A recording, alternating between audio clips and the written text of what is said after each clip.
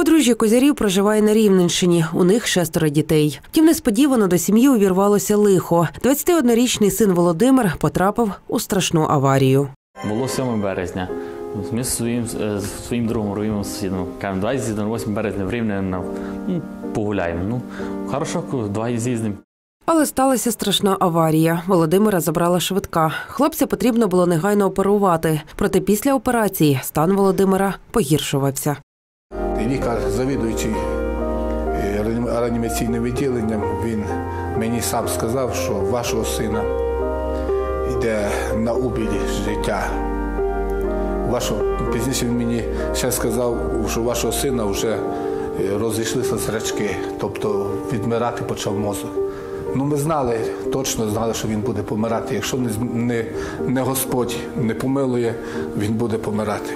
Проходили дні, ми не переставали молитись. Він не, він не помирав і він не жив. Скільки так часу тривало? 18 днів він був без свідомості. Але велика віра та молитви допомогли статися диву. Коли я зайшов, я не повірив своїм очам. Я став і побачив нього, кажу до лікарів, він прийшов у себе. Вона каже, так, е, прийшов у себе, зайдіть до нього. Ви знаєте, я, я розгубився, я став плакати. Я побачив, що, що син мій ожив.